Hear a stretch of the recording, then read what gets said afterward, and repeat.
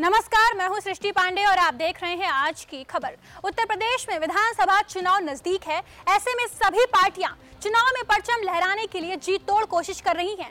वहीं विपक्षी दल भी एक दूसरे पर निशाना साधने का कोई मौका नहीं छोड़ रहे हैं। हाल ही में समाजवादी पार्टी के राष्ट्रीय अध्यक्ष अखिलेश यादव ने बांदा में विजय रथ यात्रा आयोजित किया था, जहाँ उन्होंने योगी सरकार पर जोरदार हमला बोला। अखिलेश यादव ने कोरोना काल में प्रवासी मजदूरों का मुद्दा उठाते हुए योगी सरकार पर जोरदार हमला बोला।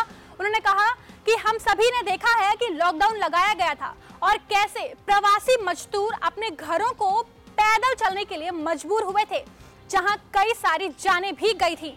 अखिलेश यादव ने कहा कि योगी सरकार ने प्रवासी मजदूरों के लिए कोई काम नहीं किया, क्योंकि इसका दर्द सिर्फ़ वही समझ सकते हैं जिनके पास परिवार हो और जिनका कोई परिवार ही नहीं, वो उनकी परवाह क्यों करेगा? अखिलेश यादव ने कोरोना काल और किसानों से लेकर युवाओं समेत कई मुद्दों पर सरकार को घेरा।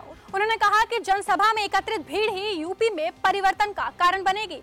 उन्होंने कहा कि योगी सरकार ने जनता पर बुलडोजर चलाया है और अब जनता सरकार पर बुलडोजर चला के भाजपा को प्रदेश से भगाएगी। आपको बता दें कि इससे पहले सीएम योगी और पीएम मोदी भी बुंदेलखंड का दौरा कर चुके हैं और अब ये देखना दिलचस्प होगा कि क्या अखिलेश यादव बुंदेलखंड में बीजेपी के अभेद किले को ढहाने में कामयाब होंगे या नहीं। ऐसी ही तमाम खबरों के लिए देखते रहिए आज की खबर।